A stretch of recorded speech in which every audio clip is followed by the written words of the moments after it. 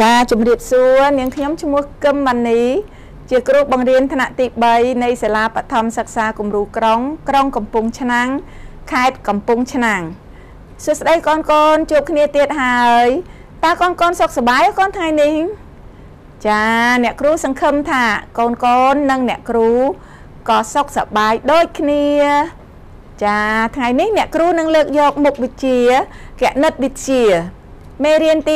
11វិធីចែកដែលមានចំណងជើងរង ការចែកចំនួនមានលេខ2ខ្ទង់និង1ខ្ទង់គ្មានត្រាទុកមកបង្រៀនកូនកូន ចាមេរៀននេះដែរគឺមានគោលបំណងឲ្យកូនចែកចំនួនមានលេខ2ខ្ទង់និង1ខ្ទង់ដោយគ្មានត្រាទុក បានត្រឹមត្រូវចាអញ្ចឹងកូនមកជុំគ្នាអស់ហើយនៅកូនចាបើមកជុំគ្នាអស់ហើយ អញ្ចឹងកូនត្រៀមសម្ភារៈសម្រាប់សិក្សា ចាសម្ភារៈសិក្សា មានដូចជាសៀវភៅសិក្សាគោលចាសៀវភៅសរសេរបេកខ្មៅដៃជ័រលូបបនតាត់ក្តារឈ្នួនដីសឬហ្វឺតយកមកដាក់ចិត្តខ្លួនទៅហើយមកកូនចាអ្វីដែលសំខាន់សម្រាប់សុខភាព គឺកូនត្រូវឧស្សាហ៍លាងសម្អាតដៃ ចាជាប្រចាំ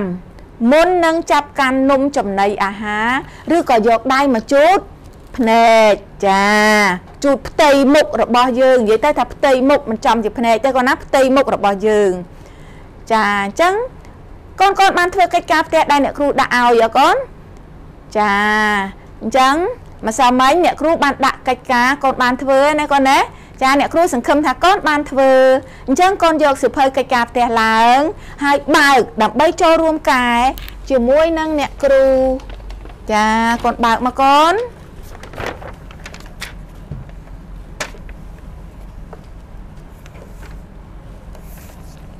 កូនបើកសិភៅកិច្ចការផ្ទះមកចាកូនយកប៊ិចក្រហមមកផងណាកូនណាដាក់ប៊ិចក្រហមមកផង ត្រៀមចិត្តខ្លួនកូនប៊ិចក្រហមមកផងចា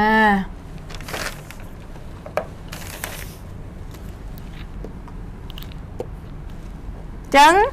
កូនមើលកិច្ចការផ្ទះរបស់យើងណាកូនណា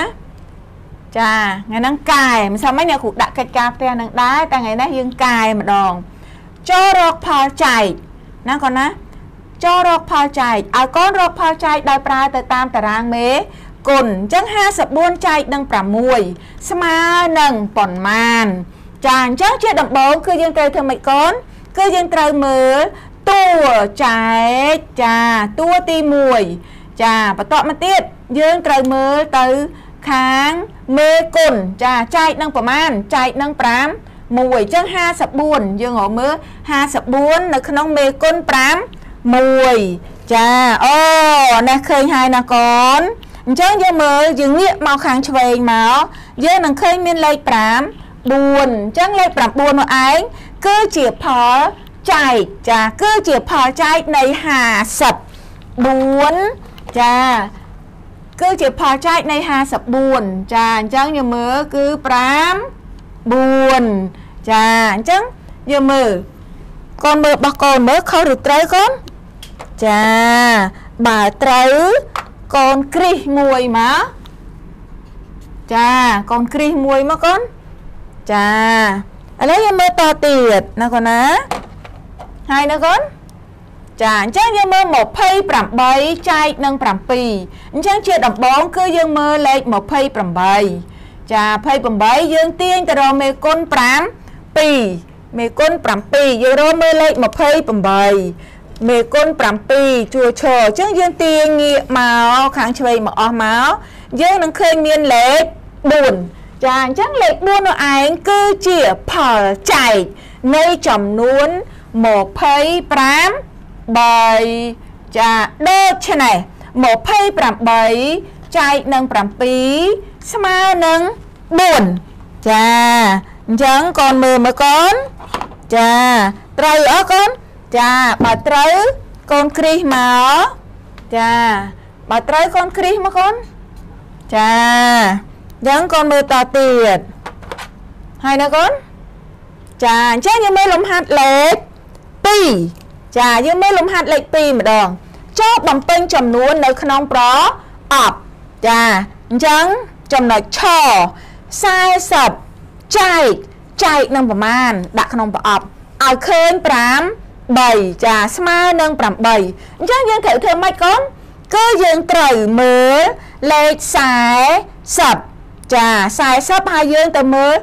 ជួឈគឺតួគុណនឹង8វិញម្ដងបជាអូសំទោសកូនមើលមកជួខាងស្ដាំវិញម្ដងសំទោសមើលមកខាងឆ្វេងគេបង្អស់វិញម្ដងណាកូនណាអញ្ចឹងយើងមើល40ចាយើងមើល40យើងបែរទៅមើលតួគុណ5 3 ចាហើយយើងងាកចាអូកន្លែងនេះសំទោសកូនសំទោសចម្លើយឃើញ8ចាយើងងាកមករកចាលេខ5 3 40លេខ5 3ចាអញ្ចឹងយើងយើងបែរវាទៅលើវិញទៅកូនយើងឃើញមានប្រមាណដងចាបែរងាកមកខាងឆ្វេងបង្អស់មកយើងឃើញមានប្រមាណគឺ5ចាអញ្ចឹងកូនមើល អញ្ចឹង40ចែកនឹង5ស្មើនឹង8ចាអញ្ចឹងកូនគ្រីសមួយមកចាហើយនៅកូនចាអញ្ចឹងយើងមើលមួយទៀតនៅសល់មួយទៀតនៅកូនណា49ចែកនឹងប្រអប់ឲ្យឃើញ5 2ចាស្មើនឹង7អញ្ចឹង49ដើម្បីងាយស្រួលរករហ័សឃើញកូនមើលទៅជួឈរ មើលទៅមេគុណ7វិញទៅចាមើលទៅមេគុណ7យករកមើលលេខ45 4ចាអញ្ចឹងយើងនឹងឃើញផលវាគឺស្មើនឹង7ចាអញ្ចឹងកូនបែរទៅរកមេគុណវាវិញទៅគឺ5 2ចាដូច្នេះចាកូនធ្វើដូចអ្នកគ្រូអត់កូនចាអញ្ចឹងយើងមើលអានេះស្មើនឹងចែកនឹង5 2ចាចែកនឹង7ដូច្នេះ49ចែកនឹង7ស្មើនឹង5 2ចាបើកូនត្រូវកូនគ្រីសមកណាកូនតើកូនធ្វើដូចអ្នកគ្រូអត់ចាបើអូសុំទោសអានេះគ្រីសអានេះវិញកូនចាព្រោះយើងបំពេញចាគ្រីសអានោះក៏បានគ្រីសអានេះក៏បានប៉ុន្តែគ្រីសអានេះត្រូវជាងព្រោះអ្នកគ្រូឲ្យកូនបំពេញណាកូនណាចាអញ្ចឹង អូឥឡូវកូនមើលមើលតើត្រូវអត់កូនចាអញ្ចឹងអ្នកគ្រូសង្ឃឹមថាកូននឹងធ្វើបានត្រឹមត្រូវទាំងអស់គ្នាចាបើបានត្រឹមត្រូវហើយកូនកុំភ្លេចចាដាក់10មកកូនចាអញ្ចឹងអ្នកគ្រូដោះតារាងនេះមកចាកូនកុំភ្លេចដាក់10មក10លើ10ចាអញ្ចឹងកូនកែទៅកូនណាដែលពុំតាន់បានត្រឹមត្រូវចាសូមកូនធ្វើការកែដំ រូវ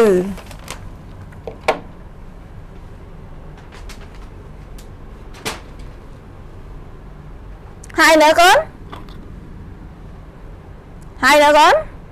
ចាឥឡូវកូនហើយកូនណាចាកូនហើយហើយចឹងកូនបិទសភៅទៅហើយកូនមើលមកអ្នកគ្រូណែម្ដងទៀតចាកូនមើលឧទាហរណ៍ថា54ចែកនឹង6ស្មើនឹង5 4 ចាកូនមើលលេខ54តើ54មានលេខប្រមាណខ្ទង់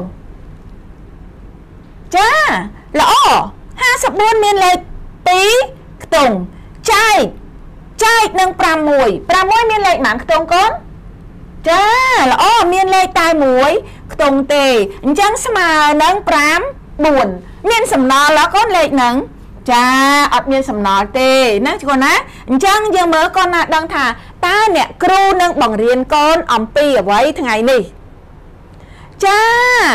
ល្អណាកូនពិតជាឆ្លាតឆ្លើយបានត្រឹមត្រូវអញ្ចឹងអ្នកគ្រូនឹងបង្រៀនកូនពីការចាយចំនួនមានលេខ2ខ្ទង់និង1ខ្ទង់ដោយគ្មានសំណល់ចាអញ្ចឹងកូនមើលចាការចែកចា ការចែកចំនួន មានលេខមានលេខ2ខ្ទង់ចា2ខ្ទង់និង1ខ្ទង់គ្មានសំ ណល់ចាអូនមើលគ្មានសំណល់ចាអញ្ចឹងកូនកូនអានឡើងកូនអានខ្សឹបខ្សឹបមកចាអ្នកគ្រូគូបន្ទាត់ពីក្រោមសិនកូនអានមកអានខ្សឹបខ្សឹបមកកូនចាកូនអានខ្សឹបទៀតអ្នកគ្រូគូបន្ទាត់ហើយយើងអានទាំងអស់គ្នាណាកូនណាចាអញ្ចឹងកូនអានជាមួយអ្នកគ្រូ ការចែកចំនួនមានលេខ2ខ្ទង់និង1ខ្ទង់គ្មានសំណល់ចាអឥឡូវ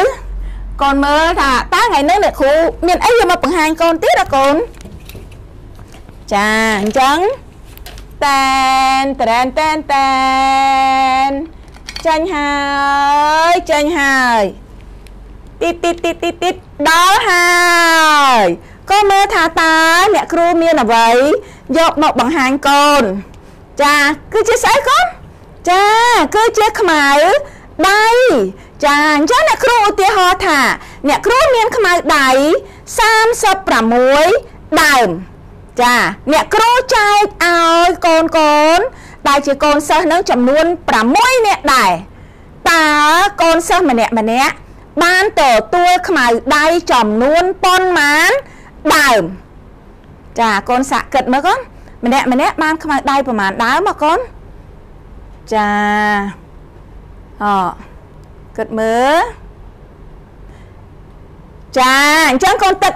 កូនគិតឃើញកូនទុកនៅក្នុងចិត្តឬក៏នៅក្នុងពោះសិនណាកូនណាអញ្ចឹងអ្នកគ្រូបញ្ជាក់ឡើងវិញម្ដងទៀតថាតើអ្នកគ្រូមានខ្មៅដៃប៉ុន្មានដើមចាចុះអ្នកគ្រូចែកឲ្យសិស្សប៉ុន្មានអ្នក ចាណាចែកឲ្យសិស្ស6នាក់អញ្ចឹងកូនមើលតទៀតថាតើយើងត្រូវធ្វើដូចម្ដេចដើម្បីឲ្យឃើញចំនួនខ្មៅដៃរបស់សិស្សម្នាក់ម្នាក់កូនចាល្អកូនពៅគឺយើងត្រូវចែកចាឥឡូវកូនតាមើលមើលថាតើអ្នកគ្រូមានខ្មៅដៃនឹងឯង36មែនអត់ណាកូនណាចាអូឥឡូវកូនមើលទាំងអស់គ្នា ក្នុង អ្នកគ្រូមានខ្មៅដៃណាកូនណាចាមួយដុំមាន10ដើមមួយដុំមាន10ដើមមួយដុំទៀតនឹងមាន10ដើមទៀតដុំនេះតិចជាងគេគឺមាន6ដើមអញ្ចឹងកូនមើលមើល10ដើមថែម10ដើមទៀតហ្មង20ដើមថែម10ដើមទៀត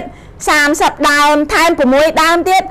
36ដើមអញ្ចឹងដើម្បីឲ្យឃើញ36ដើមច្បាស់អញ្ចឹងកូនចូលរួមរាប់ជាមួយអ្នកគ្រូណាអ្នកណាកូនណាចា1 2 3ចា4 5 6 7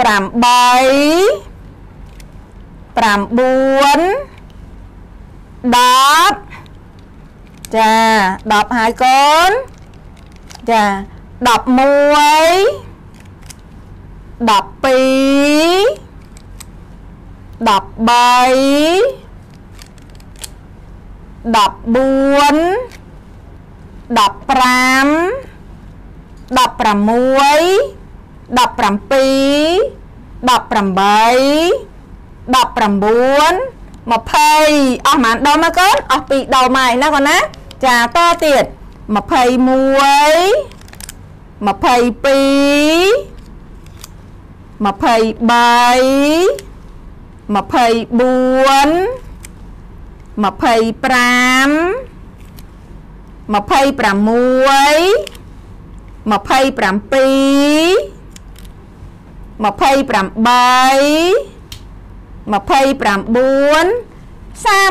អស់ប៉ុន្មានដុំមកកូនចាអស់3ដុំហើយអញ្ចឹងនៅសល់មួយដុំតូចមួយទៀត31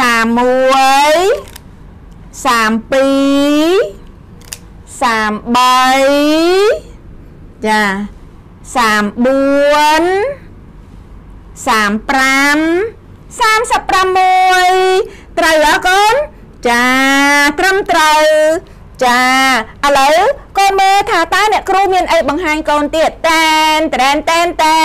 នចាញ់ហើយកូនស្គាល់អកូនចាគឺកៅយើងញ៉ាំទឹកហ្នឹងណាអញ្ចឹងអ្នកគ្រូមានកៅចាយកមកបិទបង្ហាញកូនអញ្ចឹងក្នុងកៅមួយនេះឯងគឺអ្នកគ្រូតាំងកូនសិស្សក្នុងម្នាក់ណាអូនណាកៅមួយអ្នកគ្រូតាំង សិស្សម្នាក់ចាតែនតែនចាញ់មួយទៀតហើយអ្នកគ្រូនឹងមានកៅមួយទៀតចាមួយទៀតតាំងសិស្សម្នាក់ដែរចឹងអ្នកគ្រូតាំងកៅចំនួនសិស្សបានប៉ុន្មានអ្នកអកូនចាបាន2នាក់ហើយឥឡូវមួយទៀតចាអញ្ចឹងកូនមើលអ្នកគ្រូនឹងតាំងចា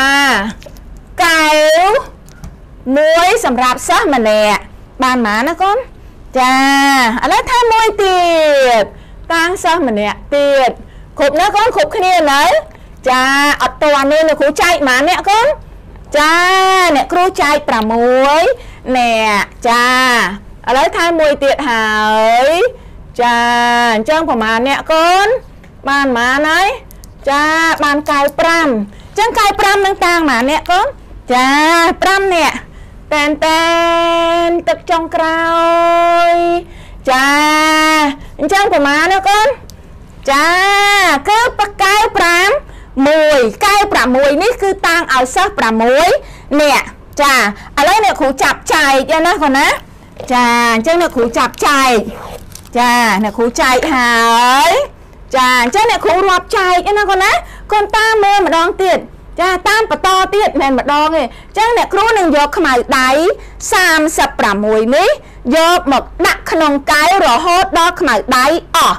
ចាអញ្ចឹងកូនចូលរួមសកម្មភាពចាតាមមើលកុំឲ្យបិទភ្នែកណាតែកូនបិទភ្នែកប្រឡំមកយ៉ាអ្នកគ្រូប្រឡំ1 1 1 1 1ចាតទៀត1 1 1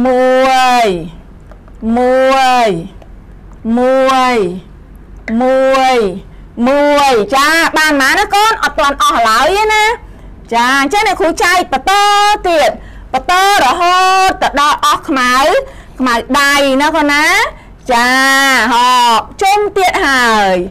ឡើងជុំទី4ហើយណាកូនណាចា ហកបានមួយជុំទៀតហើយឡើងជុំទីម៉ាណាកូនចាគឺជុំទី5អស់លើកូនមើលខ្មៅដៃអស់លើកូនចាអត់ទាន់អស់ទេអញ្ចឹងទៅមួយជុំទៀតចាអញ្ចឹងទៅមួយជុំទៀតចាអញ្ចឹងអ្នកគ្រូនឹងចែកមួយជុំទៀតអស់ហើយនៅចាអស់លីងណាកូនណាអញ្ចឹងតើសិស្សម្នាក់ម្នាក់បានខ្មៅដៃចំនួនប៉ុន្មានកូន ចាបានខ្មៅដៃចំនួនប្រមាណអញ្ចឹងដើម្បីឲ្យឃើញចំនួនខ្មៅដៃដែលសិស្សម្នាក់ម្នាក់អញ្ចឹងយើងរាប់ជាក់ស្ដែងទៅ មានអីពិបាកណាទាញមួយយកមករាប់អញ្ចឹងគាត់មើល1 2 3 4 5 6ចាអញ្ចឹងសិស្សម្នាក់យកបាន6ដើមចាអញ្ចឹង6ដើមចាឥឡូវគាត់មើលអ្នកទី2បានប្រមាណដែរណា 1 2 3 4 5 6ដូចគ្នាចាអញ្ចឹងអ្នកទី2ក៏បាន5 1ឥឡូវគាត់មើលអ្នកទី3បានប្រមាណ1 2 3 4 5 6ដូចគ្នាចាអ្នកទី3ក៏បាន5មួយដែរឥឡូវកូនមើលអ្នកទី4ចាមើលមើលកូន1 2 3 4 5 6ដូចគ្នា ចាអញ្ចឹង6ដូចគ្នាចាហើយឥឡូវកូនមើលអ្នកទី5បានប្រមាណដែរ1 2 3 4 5 6ចាអ្នកទី5ក៏បាន6ដែរចុះអ្នកចំពោចគេ ចាអញ្ចឹងយើងចង់ដឹងរាប់មើលទៀតណាកូនណា1 2 3 4 5 6ចាអ្នកទី6ក៏បាន6ដូចគ្នាអញ្ចឹងកូនចាំណាថាក្នុងម្នាក់ម្នាក់បាន6ចាអញ្ចឹងអឥឡូវកូនមើលថាតើអ្នកគ្រូមានអីយកមកបង្ហាញកូនទៀតចាអញ្ចឹងកូនតាមើលចាកូនតាមើលណាកូនណា អញ្ចឹងអ្នកគ្រូមានអីបង្ហាញកូនទៀតតែនតែនតែនតែនចាញ់ហើយតើអ្នកគ្រូមានអីបង្ហាញកូនតើកូនស្គាល់ទេកូនយើងធ្លាប់រៀនរួចនៅកូនចាកូនមើលអ្នកគ្រូនឹងមានបន្ទះចំនួនយកមកបង្ហាញកូនទៀតសួរថាបន្ទះចំនួននេះតាងអីបន្ទះចំនួននេះក៏តាងខ្មៅដៃនេះដែរណាកូនណា ចាហ៎ឥឡូវកូនមើលថាតើបន្ទះចំនួនមួយនេះកូនស្គាល់អត់រៀនតាំងពីដើមឆ្នាំមកកូនប្រទេសនេះចាល្អគឺជាបន្ទះ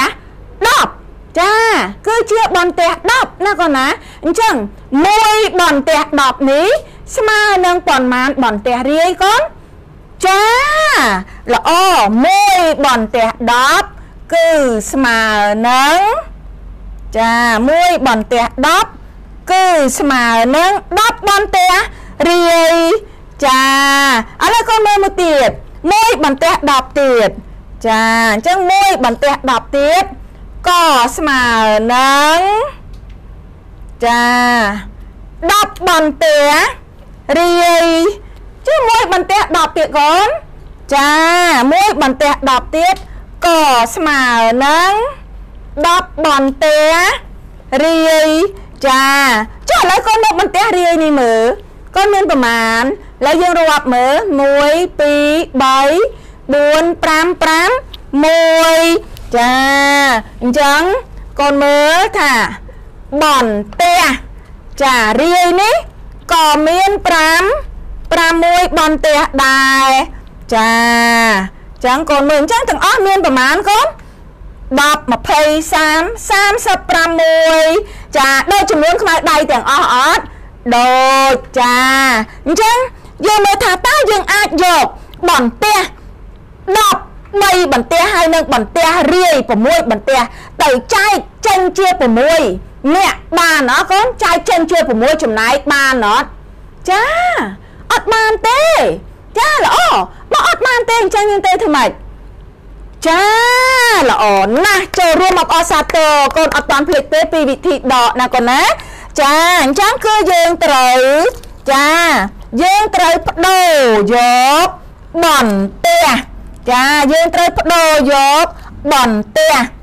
10មួយបន្ទះចាដូរយកប្រមាណបន្ទះរាយចាដូរយក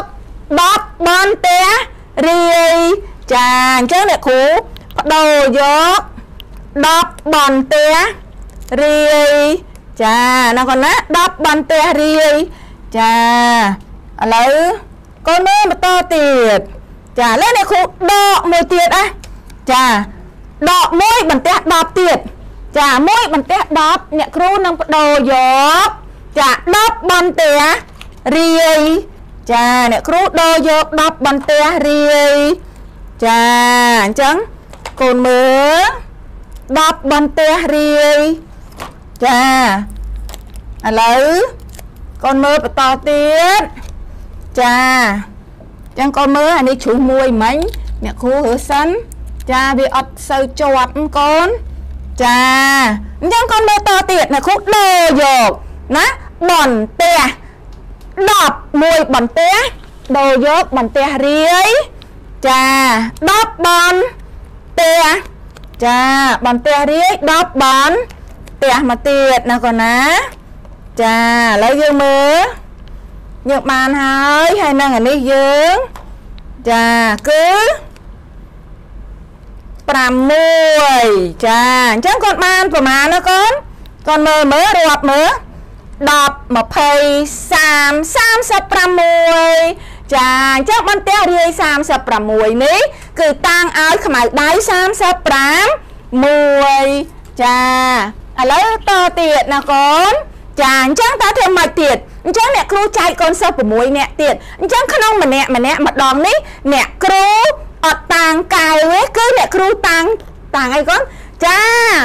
តាំងចានម្ដងណាកូនណាអ្នកគ្រូតាំងចានម្ដងអញ្ចឹងក្នុងមួយអ្នកចាអ្នកគ្រូតាំង ចានមួយដែរណាកូនណាក្នុងម្នាក់តាំងចានមួយចុះពីរនាក់អរកូនចាពីរនាក់តាំងចានពីរចាអូចុះ3នាក់ចា3នាក់អ្នកគ្រូនឹងតាំងចាន3ចាអញ្ចឹងកូនមើល3នាក់តាំងចាន3ចុះ4នាក់អ ចា4នាក់អ្នកគ្រូនឹងតាំងចាន4ចាហើយចុះ5នាក់ចា5នាក់អ្នកគ្រូនឹងតាំងចាន5ដែរចាចុះអ្នកទី6តាំងអីចាអ្នកទី6ក៏តាំងចានដែរតែអ្នកទី1ចានអ្នកទី2ចានចានដល់តែអ្នកទី6ក៏តាំងចានដែរចាអញ្ចឹង កូនមើលទាំងអស់គ្នាអញ្ចឹងអ្នកគ្រូចាប់ចែកណាកូនណាចាអ្នកគ្រូចាប់ចាប់ចែកបន្ទះចំនួនណាអញ្ចឹងសូមកូនតាមដានសកម្មភាពបន្តទៀតចាអញ្ចឹងកូនមើលចាតែនតែនតែនតែន1ចាតែនតែនតែនតែន1អ្នកគ្រូដាក់ម្ដង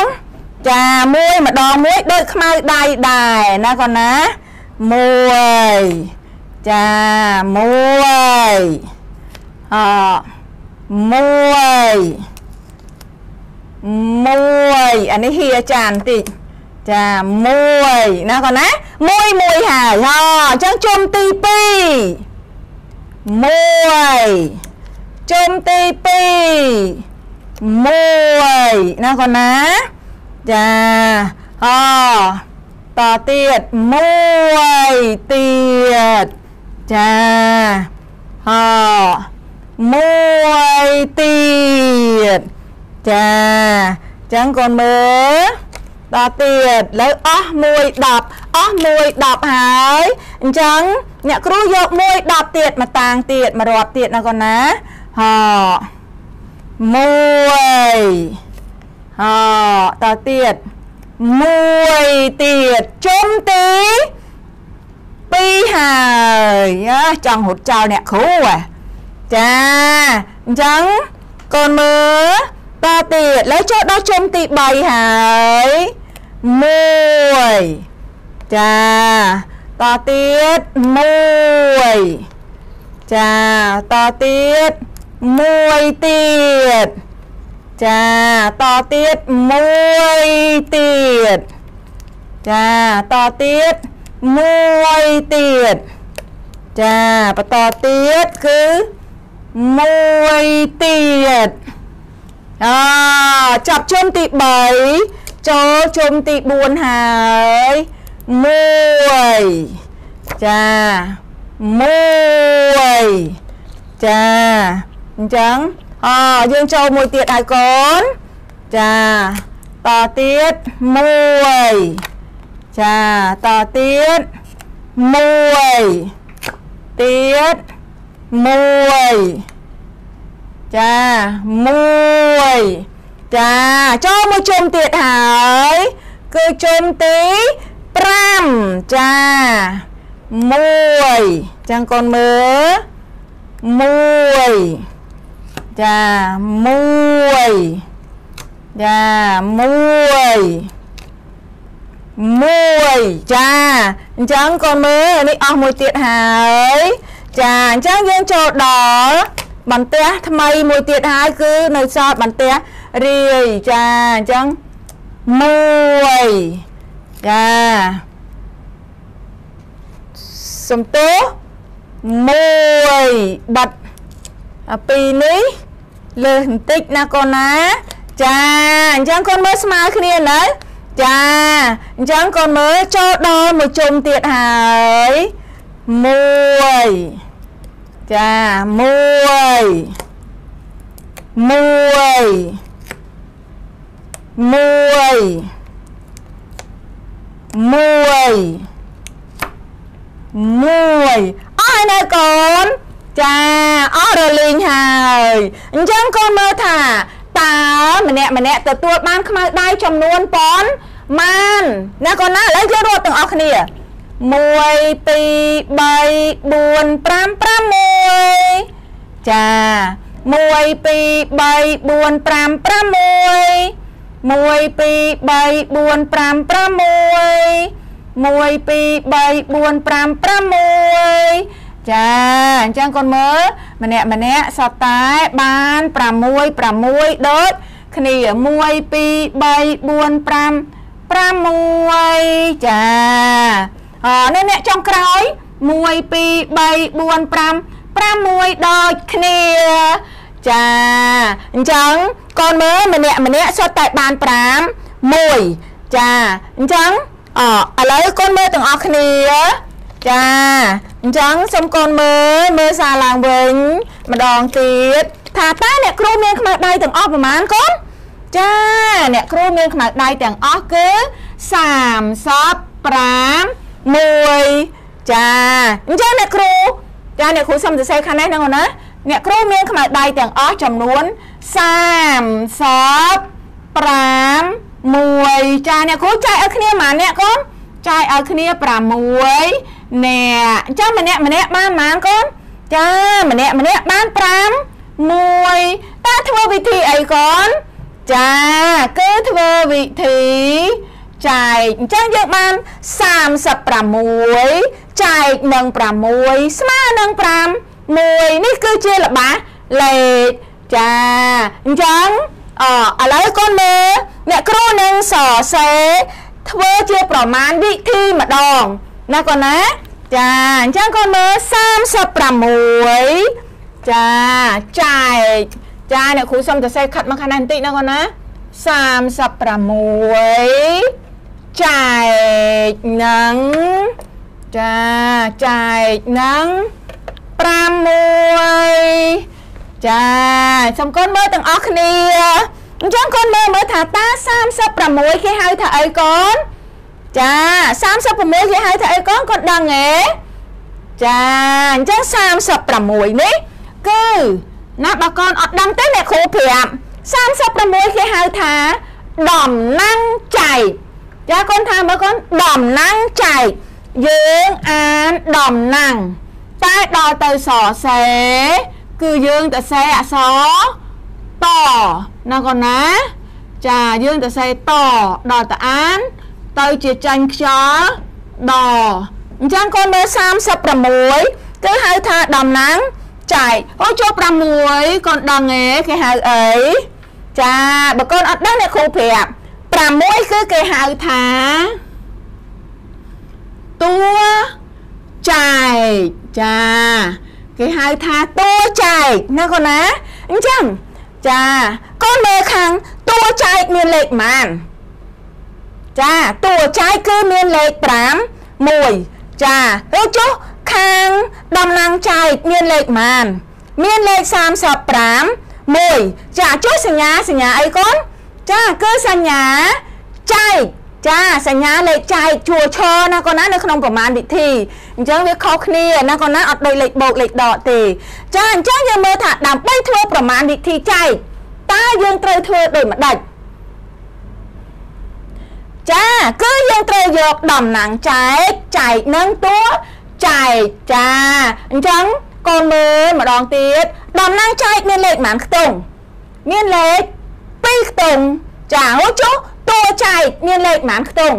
មានលេខតែមួយខ្ទង់ទេអញ្ចឹងយើងយើងយើងមើលកូនតាមមើលមែនតើណាកូនណាមើលរៀនថ្មីចាអញ្ចឹងយើងមើលបើសិនជាណាតួចែកមានតែមួយខ្ទង់ អញ្ចឹងតំណាងចែកដំបងឡើងគឺយើងត្រូវមើលតែមួយខ្ទង់ដែរណាមិនមែនដូចលេខបូកលេខដកយើងហៅពីរខ្ទង់រាយមុន ចំពោះវិធីចែកគឺយើងហៅខ្ទង់ធំបំផុតណាកូនណា ចាអញ្ចឹងបើសិនជាយើង ចាកាត់យកមួយខ្ទង់ដូចគ្នាតើចែកបានអត់ចាយើងបានលេខប៉ុន្មានលេខ3អញ្ចឹង3ចែកនឹង6បានអត់ចាអត់បានហេតុអីហេតុអីមិនអត់បានចាល្អណាស់ ព្រោះ3តូចជាង5 1មិនអាចចែកបានទេចាបើចែកមិនបានទេ ចាតែយើងត្រូវធ្វើម៉េចទេកូនចាល្អណាកូនណាកូនឆ្លាតណាគឺត្រូវកាត់យកពីខ្ទង់តែម្ដង ចាអញ្ចឹងកាត់យកពីខ្ទង់យើងបានលេខប៉ុន្មានកូន35 1អញ្ចឹង36មាន6ប៉ុន្មានដងអញ្ចឹងកូនសូត្រមេលេខមើល ចឹងកូនសូត្រមេប៉ុន្មានកូនចេះសូត្រអត់ចាកូនសូត្រមេ6ចែកនឹង6ស្គូនសូត្រនឹង6នឹងមកសូត្រមេ6នឹងមកអញ្ចឹង36មាន6ប៉ុន្មានដងកូនចា36មាន6 6ដងចា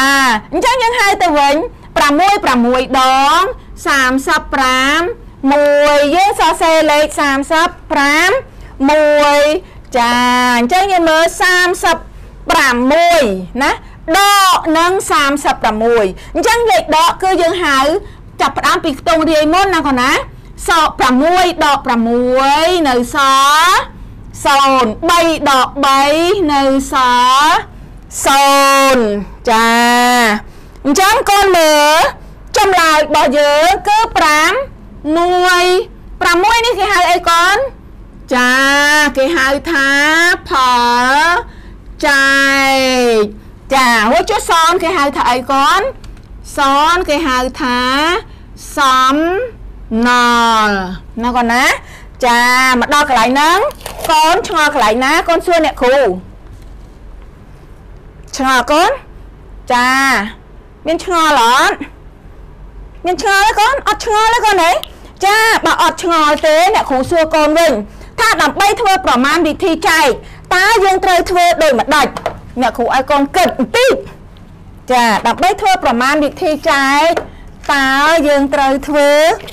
ដូចម្ដេច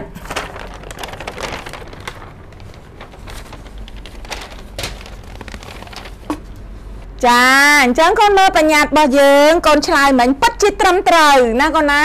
ចឹងយើងមើលបញ្ញត្តិដើម្បីធ្វើប្រមាណវិធីចែកយើងត្រូវ យកតំណាងចែកមកចែកជាមួយនឹងតួចែក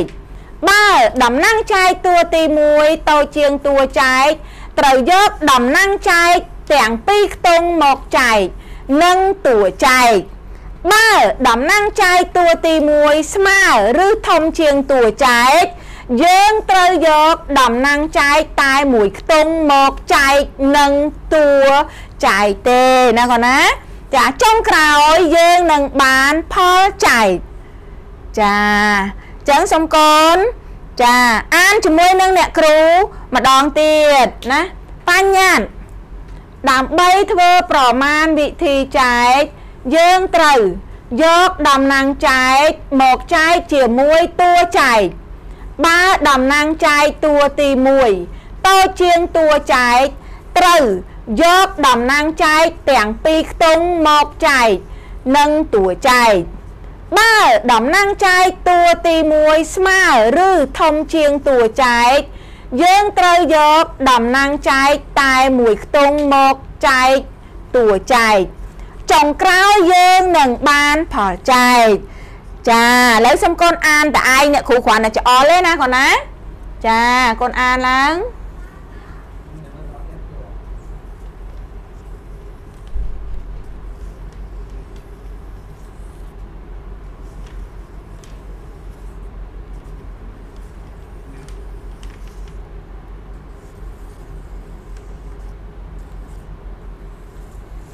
យូយប្រកែប្រកែក៏អ្នកគ្រូច្អល់អត់ចង់តន់ណាណាចាអញ្ចឹង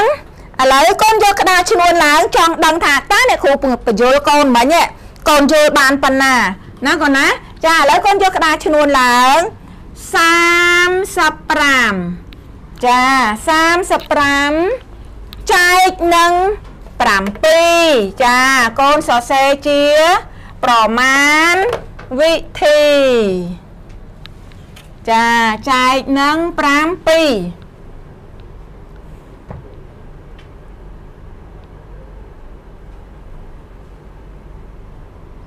ចាហើយសូមបង្ហាញចម្លើយចាល្អកូនអញ្ចឹងយើងមើលយើងថាដើម្បីធ្វើប្រមាណវិធីចែកយើងត្រូវយកតំណាងចែកចែកនឹងតួចែកចុះបើតំណាងចែកតួទី1តូចជាងតួចែកគឺយើងត្រូវកាត់យកពីខ្ទង់ចាអញ្ចឹង35មាន7ប៉ុន្មានដង35មាន7មកដល់កូនចាអញ្ចឹង5 7ដង35ចាគឺយើងសរសេរលេខ35ហើយយើងធ្វើវិធីដក5ដក5នៅសល់0 3ដក3នៅសល់0ចាអញ្ចឹងចម្លើយយើងឃើញ 5ចាផលចែកយើងឃើញ5ចាអញ្ចឹងកូនកូនគ្រាន់យល់ណាកូនចាកូនអត់ទាន់ច្បាស់ឬយ៉ាងម៉េចចាអញ្ចឹងសូមកុំព្យាយាមម្ដងទៀតមួយទៀតឯណាកូនណាចាអញ្ចឹង55ចា55ចែកនឹង5ចាសូមសរសេរចម្លើយឃើញប្រមាណកូនធ្វើមកធ្វើជួយឈរមកកូន ចាសូមបង្ហាញចម្លើយយូយបកែណាកូនពៅចាឥឡូវកូនមើលមកក្តារខៀនទាំងអស់គ្នាចូលរួមធ្វើកំណែជាមួយនឹងអ្នកគ្រូ ចាអញ្ចឹងយើងមើល55ចែកឲ្យ5បានទេកូនចាបានហេតុអី55ធំជាង5អញ្ចឹងយើងត្រូវកាត់យកប៉ុន្មានខ្ទង់កូនកាត់យកតែមួយខ្ទង់ទេមិនបើកាត់យកតែមួយខ្ទង់ព្រោះលេខ5ស្មើគ្នាចាល្អអញ្ចឹង5មាន5ប៉ុន្មានដង5មាន5មួយ ដង1 5ដង5ចាអញ្ចឹងកូនមើល5ដក5ចា5ដក5នៅសល់0ចាអញ្ចឹង0ចែកឲ្យ5បានទេកូនហេតុអីចាព្រោះ0តូចជាង5អត់មានទៅទេ0អញ្ចឹងយើងត្រូវទម្លាក់លេខ 5ចាអញ្ចឹង5មាន5ម៉ានដងដូចគ្នាហ្នឹងលេខហ្នឹងចាល្អមាន5មួយដង1 5ដង5ចាអញ្ចឹងកូនមើល5ដក5នៅសល់0ចា0បានន័យថា0អត់មានទៅទេអញ្ចឹងលេខនេះគឺចែកដាច់ណាកូនណាចាអញ្ចឹងសូមកូនចាយកសភៅមកកត់មេរៀន